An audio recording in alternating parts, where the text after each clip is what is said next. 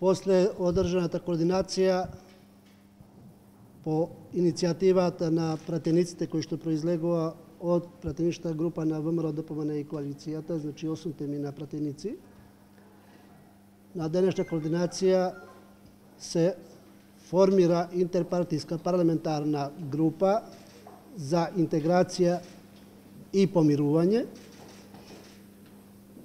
при што се определи форматот на составот на таа група. Форматот е, значи, учествуваат подпредседателите на собранието, координаторите на пратеничните групи или по потреба замениците нивни, пратениците кои не се организирани во пратеничка група и определен број пратеници од поголемите пратенички групи, кои што се остави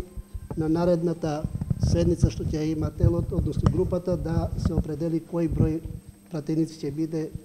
од составот значи, на поголемите пратенички групи СДСМ и ВМРО да помене коалицијата.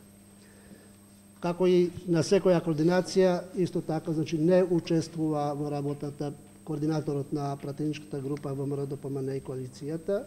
Никола Мицевски, он тоа и го најави предходно, но тоа не е пречка да се формира групата која што се оформи. За мандатот, односно за содржината, за методологијата на работа, групата по одржување на нивната прва редовна седница се се обредели и тоа поединости ќе ги даваат копредседавачите. Значи, определени се двајца копредседавачи,